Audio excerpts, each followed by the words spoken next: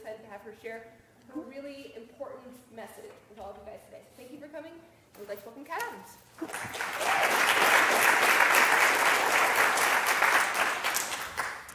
Okay, can everyone hear me with my multiple microphones?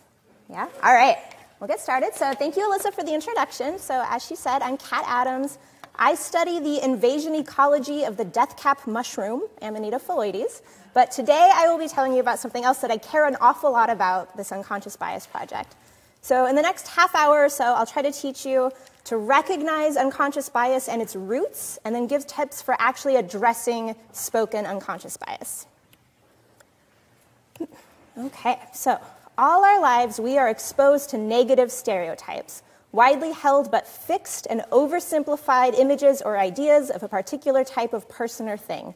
So all these stereotypes are reinforced by television, the movies we watch, the radio we listen to, the books we read, countless sources on the internet, and it's, it's contagious. We pick it up from the people around us too. So, this barrage of exposure to stereotypes causes our brains to unconsciously invoke these stereotypes when we interact with certain people. And because of the social programming, we can act and speak with unconscious bias. So, this is generally defined as prejudice in favor of or against one thing, person, or group compared with another. And this part's critical, usually in a way to be considered unfair. And just a quick note that in the literature, people use implicit bias and unconscious bias interchangeably, and I'll do the same thing here too. So, what the real clincher is, is that the research shows that people can have unconscious bias against, say, people of color, even when the person consciously thinks that racism is wrong. So, these bias comes from stereotypes, and I just want to point out a couple really common ones in the US that have particular reason to. We should talk about them in STEM. So, one is just woman as caregiver, man as breadwinner. People think that, like historically, the men has brought home most of the money, and so maybe that should continue. Not consciously, right? But there's this idea that women can be either beautiful or intelligent, but not either. People think that men are better at spatial reasoning. Stereotypes can be a lot more harmful too. There's things that are perpetuated in the news, like that African Americans are criminals. And stereotypes, even when they're positive stereotypes, are also harmful, and I'll get to that more in a minute. But there's a common one that Asian people are good at math. Sometimes the, the bias doesn't come from a stereotype per se, but just an association. So, for example, Historically, most scientists have been men and not women, and so people might unconsciously, when they think about what a scientist is, think of a man because that's what most of the examples they have in their head is. There's also things like most of the custodians on campus are racial minorities, and so instead of thinking as racial minorities as scientists, people might associate them with more custodial jobs. So these stereotypes themselves hurt people, and there's a lot of research that shows that being stereotyped leads to someone feeling aggression, inability to focus. It decreases their performance when someone stereotypes them. It can also result in overeating. There's several different studies that show that. And then people who report regularly encountering the threat of being judged by negative stereotypes are more likely to have hypertension, depression, and to rate their own health more poorly. So, again, positive stereotypes are also harmful. And there was one study showing that, um, for example, when someone implies that a Korean person is likely good at math because they are Asian, they feel dislike towards the speaker and it invokes these feelings of anger. So stereotypes themselves hurt people, but they lead to bias. And then this unconscious bias creates all of these problems within STEM. It creates barriers to entering STEM, barriers for women and minorities to rise in STEM, and then through all of these daily small interactions that are still really hurtful, these things that we call microaggressions, it causes women and minorities to leave STEM. And so then this lack of representation of these different groups in these positions causes what my boyfriend Mitch dubbed the positive feedback loop of negative stereotypes. So it's sort of this reinforcing cycle. And bias is a huge issue. So if you haven't heard about this, allow me to summarize uh, a few decades worth of research with this one paper. The existence of implicit bias is beyond reasonable doubt, a refutation of ideological and methodological objections, an executive summary of studies that no, man, no manager should ignore. So, among the social scientists, this is a non issue. Unconscious bias is considered this really big problem for diversity in STEM. And in a lot of cases, it, like there's evidence of it impacting diversity in STEM. So, really briefly, there are a number of resume studies finding gender and racial bias and how potential employees judge applicants for entry level positions, studies highlighting bias in how we give teacher evaluations, bias in how we write letters of recommendation for different people, several studies about funding, like, like funding agencies are biased in who they award money to and how much they award money to different people. And there's especially bias in leadership positions, and this affects women a lot. So, if you want more, I brought this whole notebook of abstracts of different papers demonstrating all of this bias if you want to flip through it later. But on a more positive note, the primary literature also shows that there are measures that we can take that are scientifically proven to help reduce bias and thereby help to increase diversity in STEM. And so that useful information, though, is often lost among a sea of different people that are arguing about whether or not bias actually matters. So, enter the Unconscious Bias Project. We are a student organization now at Berkeley. We have our website up and running. We're about 12 STEM people, plus our awesome graphic designer that made our logo, and uh, we have a couple cartoonists that are making different bias situation cartoons. Our website is up, um, and we're doing a couple different things. So, with the website, piecemeal by piecemeal, piecemeal, we're documenting this evidence of unconscious bias, starting with women, we're going on to like how it affects like how racial bias affects diversity in STEM, trying to cover all of the different types of biases because they intersect and different people receive different types of bias. Goal two is to provide these materials to boost awareness of the bias, just get people thinking about how this is an issue daily. And then three, more positively, like actually give tips to reduce bias and counter its effects. So if you go to our website, We've read a lot of the primary literature. We've spent a lot of, a lot of people hours now on Tuesday evenings and weekends. We've got tips on how you can reduce your own bias, and I can connect you with some of the social scientists that give trainings that are evidence based.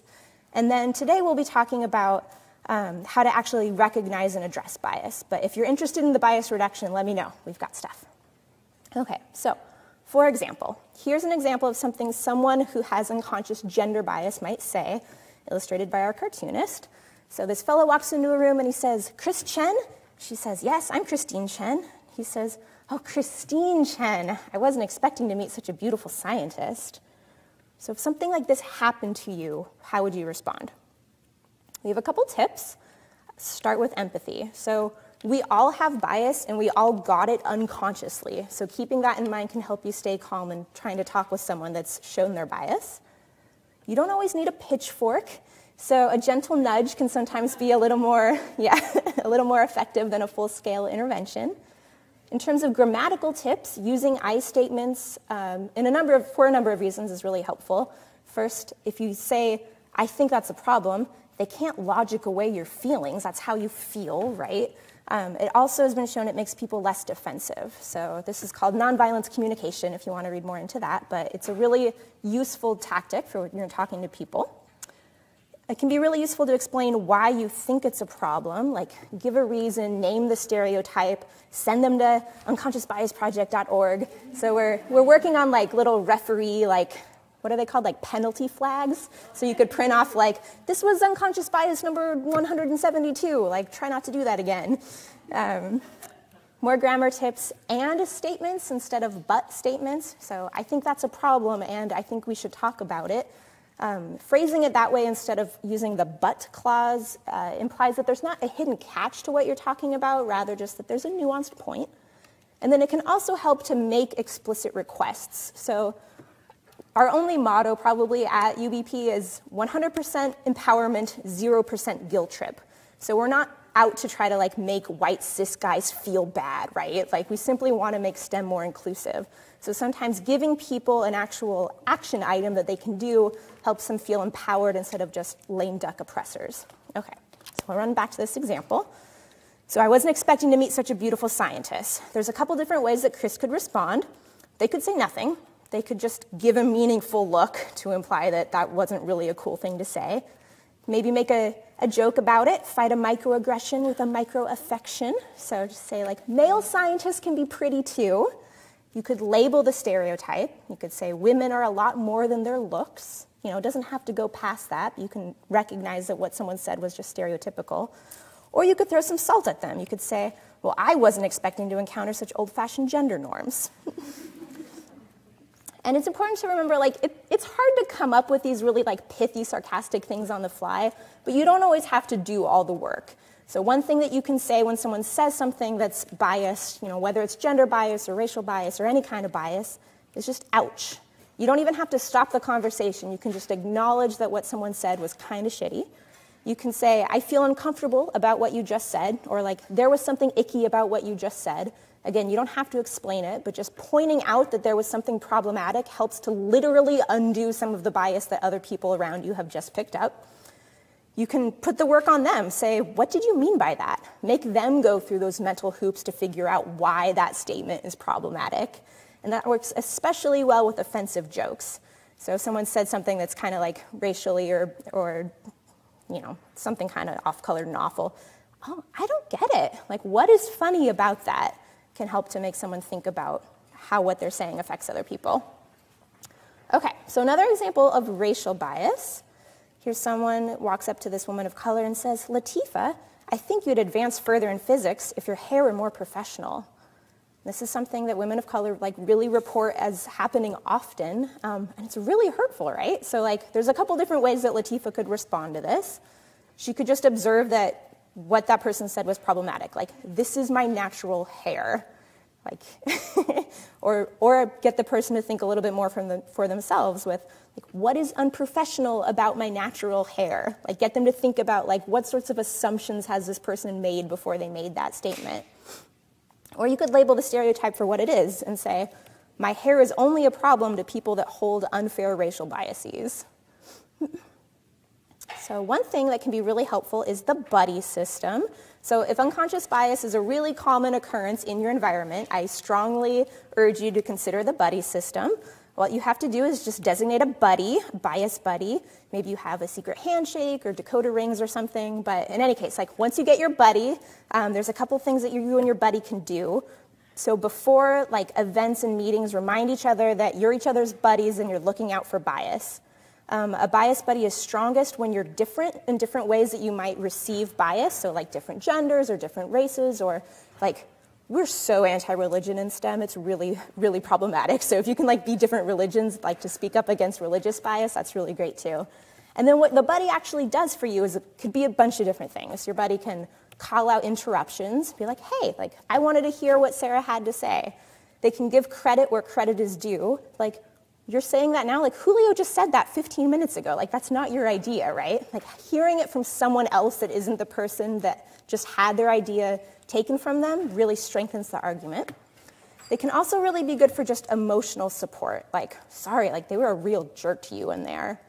And then if you're ever unsure about like what you might say to someone that isn't already your bias buddy, you can offer what we call like retro assistance. So you can check in with them afterwards and tell them, like, there was something really wrong about what happened in there. Like, I acknowledge that, but I didn't know like what you might have wanted in the future, like what could I do to better support you. So the buddy system is really great. I really recommend it. And here's an example. So here's a few different engineers. They're looking over some blueprints for something. And two guys in the back are talking. One says, She's really smart, but I wish she wasn't so bossy. So this specific gender bias against women in leadership positions is well documented. But there's a couple different things Guy 2 could say. He could label it like, ouch, that's reinforcing a hurtful stereotype. Like maybe this guy the, the offender is really clueless and says this sort of thing a lot, and maybe guy number one just kind of wants to go aggro, so he could say, You're really dense, and I wish you weren't so oppressive.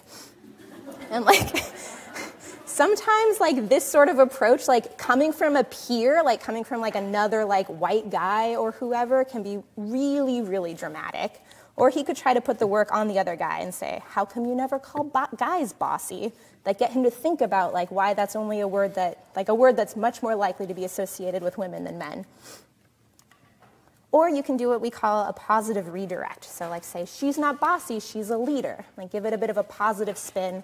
You know, makes it, makes it a more pleasant conversation, but is also just kind of helpful. And I slipped in one acted bias because I think this is important. So, one example of bias that is expressed by like a lot of uh, people of color is they feel like people don't sit by them, or like if you're making groups in like a lab class or something, they're like one of the last people to get invited into a group. And so here, what we're trying to show in this cartoon is that no one has chosen to sit by this black student, and he's feeling really sad about it. So if you saw this sort of bias, like whether it's on the BART or in a classroom or something, you could do a couple different things. You could just observe what's happened, but like ask them a question about it, like, are you waiting for someone? Like give them the benefit of the doubt that like it's not that everyone's avoiding them, but maybe they're waiting for someone. Or like give a little bit more of yourself. Ask them, do you want company? You know, try to sit by them.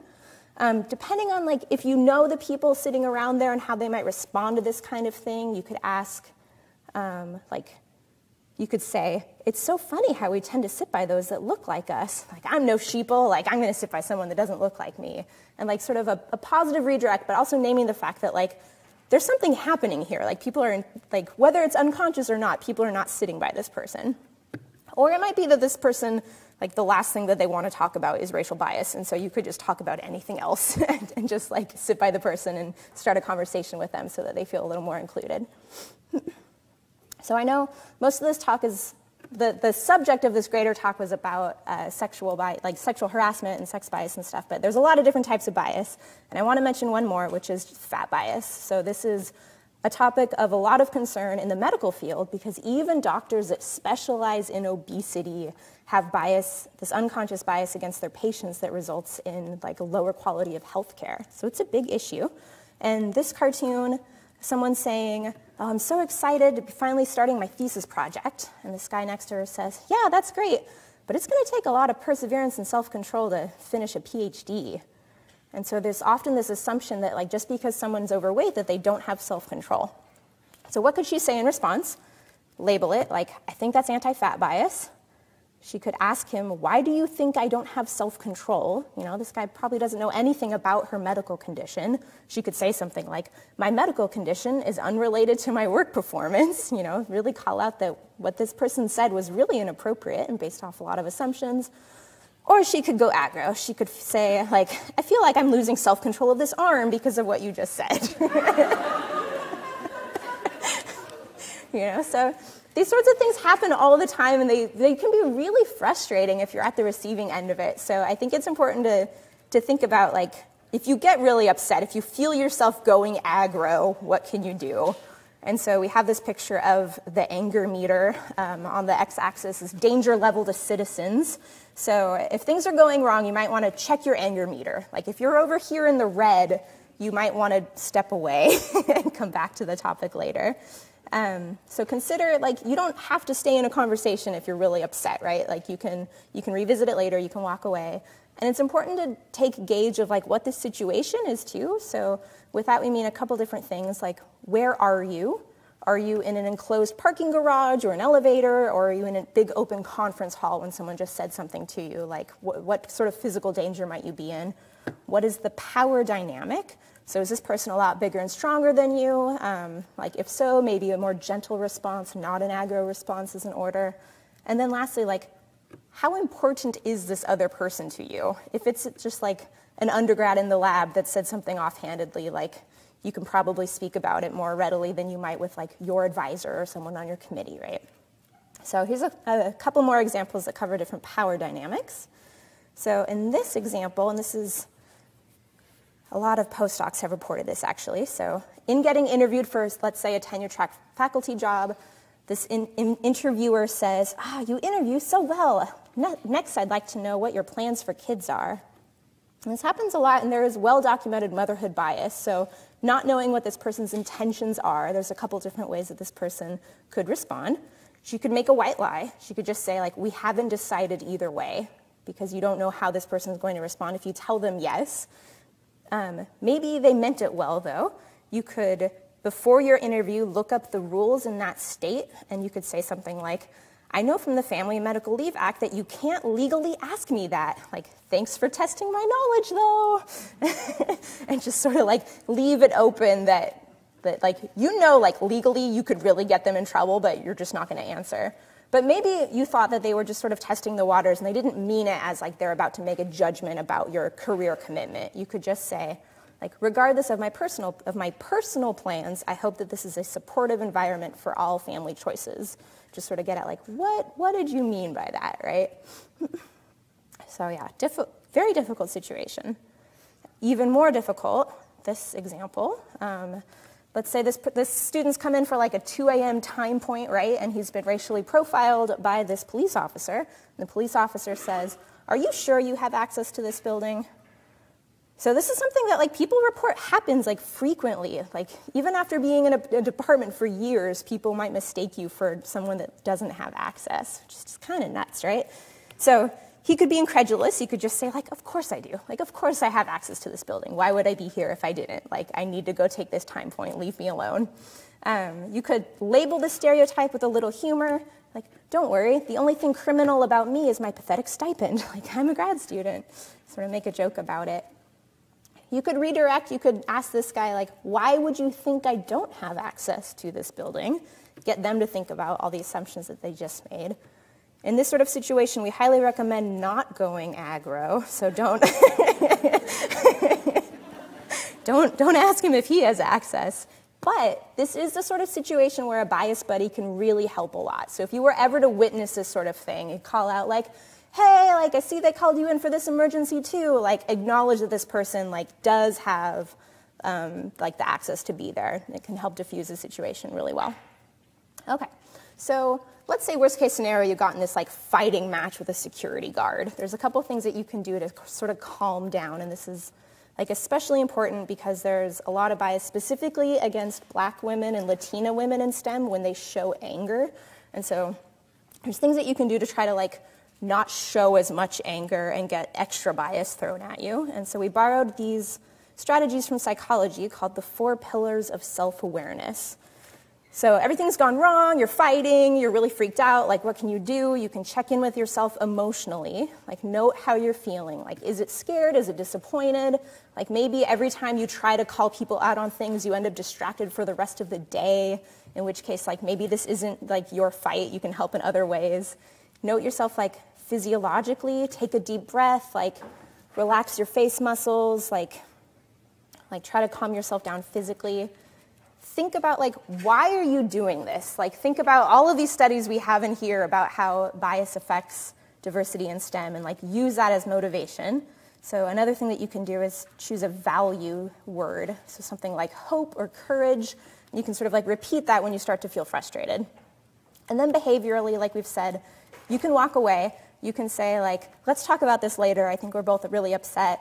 Or you can tell them, like, let's talk in five minutes. Like, let's calm down a bit and come back and talk about this because it seems like a big, big issue. So I have just two more cartoon examples. Are we, how are we on time? Okay, excellent. So this is a situation of being mistaken for a janitor. This professor says, oh, like, I didn't know the Zhang lab had a new dishwasher.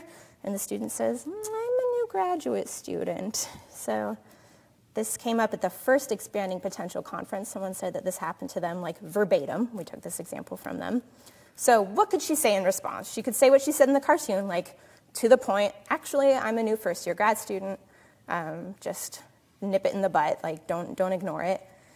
You might not want to throw salt on this one because it's a professor, but if he said like, I didn't know the Zhang Lab had a new dishwasher, she could say, I didn't know the department employed racists in bow ties. or, this is Mitch's example, it's so funny. Okay, or you could do the redirect, um, like, I noticed that too. I look more like the custodial staff than my colleagues. Why do you think that is? Like, get him thinking about this racial bias. So a more, uh, more a lighter example. So sort of same situation, but with two students. This student has mistaken someone else. She asks, "Oh, excuse me, are there more bagels in the back?" And the other student says, "I'm a student, not one of the caterers." So in this case, this person that's just been mistaken for a caterer, again, has a lot of, lot of options. More options than if the person were a professor, right? Because this is someone that's more of your peer. So you just make a joke, like, I'm a grad student, like, besides, I'm a terrible cook, like, like I would burn a bagel, um, sort of diffuse the situation that way. Um, I, I, got this idea from the psych consultant I meet with. She, she, she suggested take their plate and say, Sure, I'll be right back with that, and then never come back.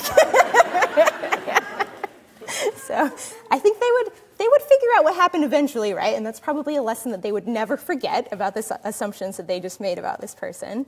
Um, more positive, more gentle, you could say, I don't work here. Let's see who does. So redirect to give them something else to think about. Um, or, you know, like it looks like this is like a welcome breakfast, right? Like you're going to be dealing with this person for a while. You could make a learning lesson out of it and say, no, but is that seat taken? And just sit down and explain, like, like talk to them about why they made those assumptions. So there's a couple things that are personified by this acronym that I came across the other day. It's called Open the Front Door. And when you want to have a, like when you feel like you have the energy and the time to give a lesson to someone, you can use this. And it stands for observe, think, feel, desire. And so in this example, someone said, like, Latifa, like, I think you'd, you'd go further if your hair were more professional. And Latifa could say in response, first, observe what was problematic about the statement. So, what you said reinforces the stereotype that black women don't naturally look like professionals. So, T is say what you think the consequences. So, I think it's very insulting to myself and other women of color state how you feel. So I feel embarrassed and uncomfortable. And then the D is for desire. So, like, what would you rather have happen next? Like, in the future, I'd like to have a lab meeting to discuss racial stereotypes. And that, like, if you feel like you have that energy, that can be a good, like, platform for talking with the people. Okay. So, in summary, stereotypes and bias are both by themselves directly and indirectly hurtful, and they're worth addressing. There's a couple different tips that you can use. You can try, try to hold on to empathy if you can. Use I statements. Explain why you, why you brought this up. The and statements instead of but.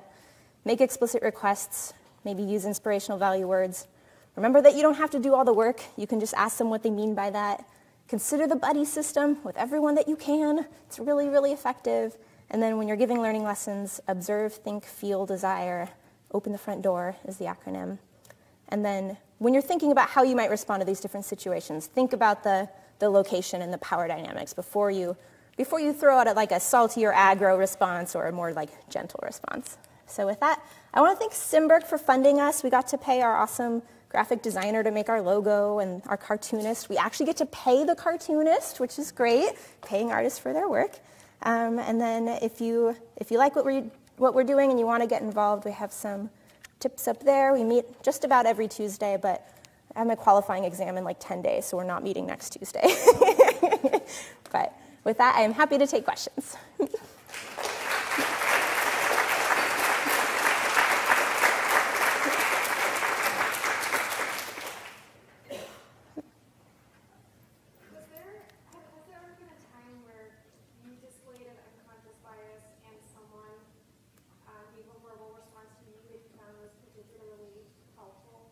Yeah, so the question was like, have I said an unconscious bias and then had someone say something helpful? Um, the one example I think of when you ask that is I was told once, maybe I read about it, but I think someone told me if you say women and people of color, it's sort of that phrase is inherently a microaggression because you're sort of implying that like women are de facto white, which is not true, right? Like women can be any race. And so specifying like white women and people of color is a much more inclusive phrase. And so, like, it's, I, I, really did like see a consultant for like three months before I started any of this stuff because I was paranoid about like, in trying to help people, like actually hurting them instead. And so I still meet with this person like just about every week um, to try to avoid making mistakes like that. But when I do them, like know that you can't be perfect and try to take the, the feedback in stride, I guess. yeah.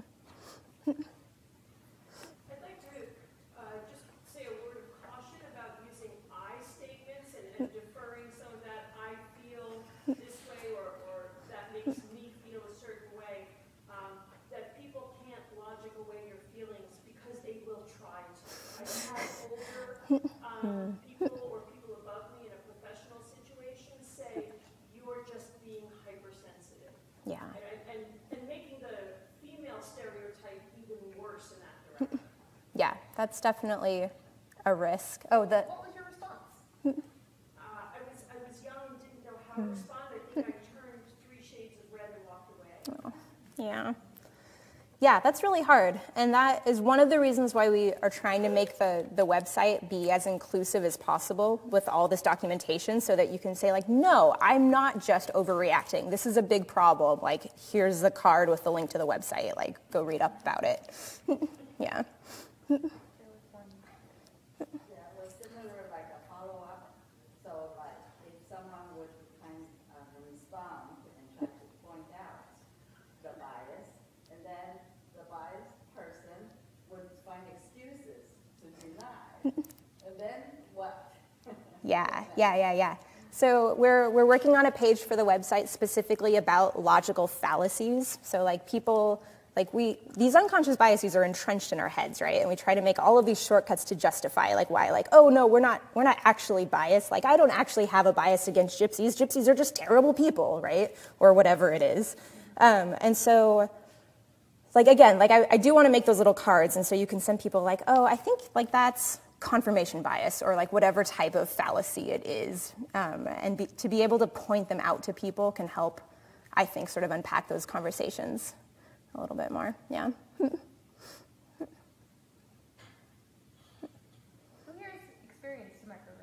Or a, an unconscious bias directed at them? So it's pretty common.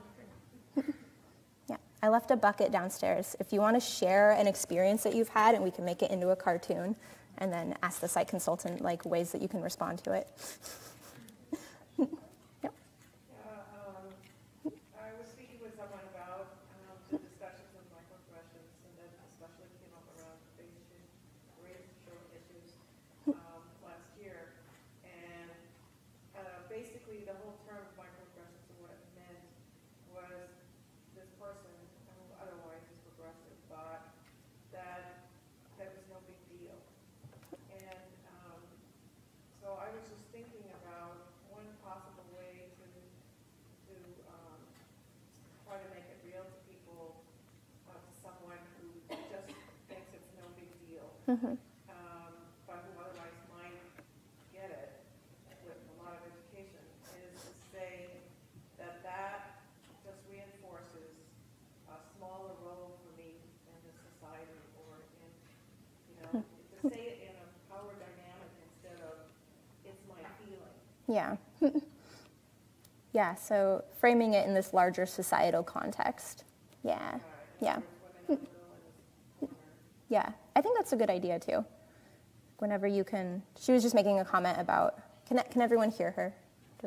No. Okay, so she was making a comment about how sometimes it can be easier instead of saying like, instead of what we were saying before, like I think or I feel this, but to try to phrase the example for like why you think something is problematic by framing it in a more like socio-political context. Like this is, like that statement further like shrinks the sorts of jobs that I feel like I, I can do and feel welcome in, or something along those lines.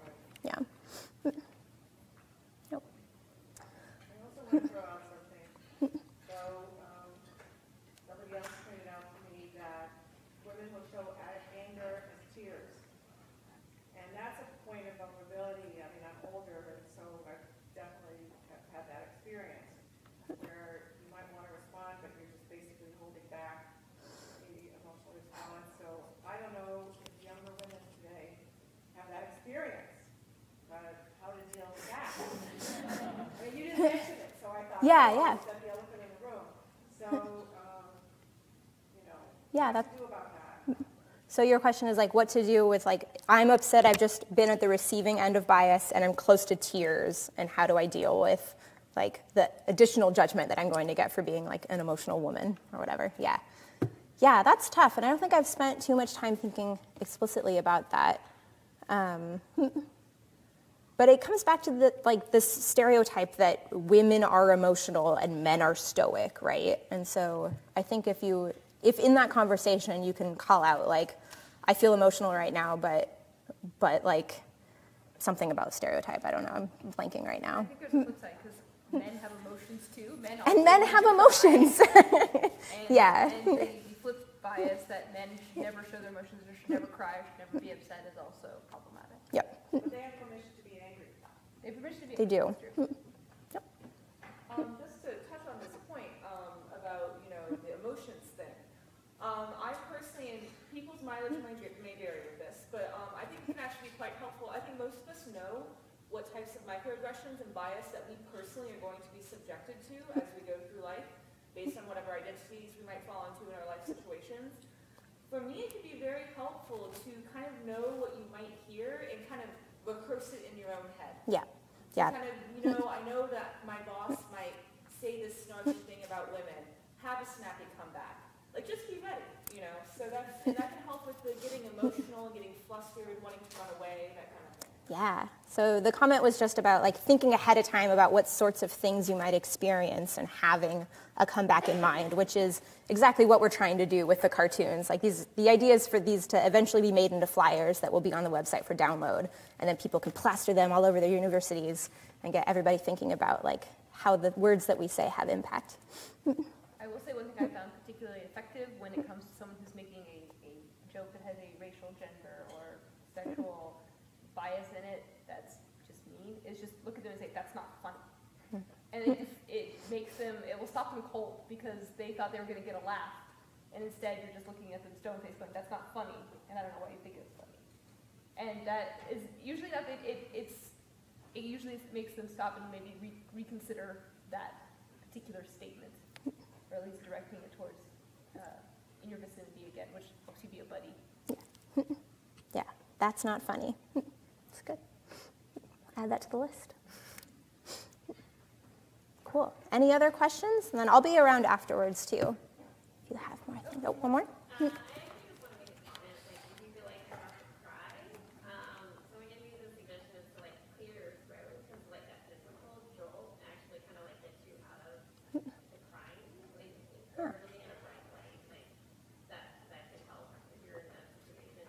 Okay. Cool. Yeah, maybe we. I could put a slide in about like things to do if you feel like you're about to cry, because that seems worthwhile. Yeah. Okay. I think that the power poses I know help with like fear before giving a talk, but those also might apply. So that there's this idea like if you take like a larger stance or you put your feet up on a table, it actually like changes the hormones that are going through you and helps you feel calmer. And so I, I do that before a lot of talks. Um, I didn't do that today, but uh, but that can be really helpful for for helping to like literally change the hormones that are cycling through your body and reduce some of that like automatic nervous system response. Yeah, question in the back. Oh, okay, yeah. The comment up here was sorry. Uh, was sometimes she was told that if they were told that if you feel like you're about to cry, things that you can do to try to avoid it are clear your throat or look at a bright light. good advice. Yep. I'm, I'm curious about what your thoughts are with intervening with bias that's in your favor. Yeah. Yeah, so the question was what do you do about intervening with bias that is still in your favor? And I think the answer is like you say something because because it subtly influences the minds of the of anyone that might hear it, but also like is another way another easy way I think to help reduce some of these effects, like pointing out that even positive bias is harmful. Like yes, I'm a woman, that doesn't necessarily mean I have high emotional intelligence or whatever it is. Like guys guys can have great emotional intelligence too. Yeah.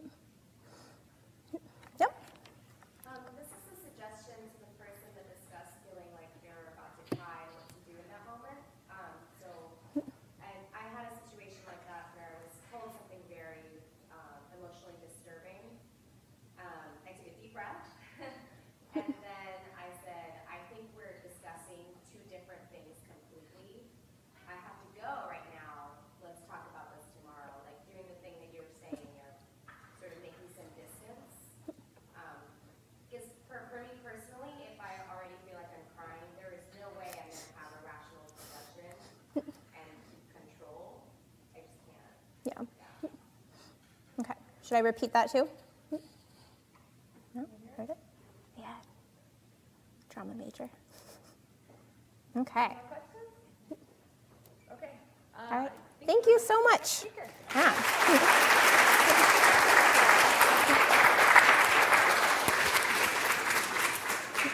so stick around because we have one more speaker coming up. And. Uh,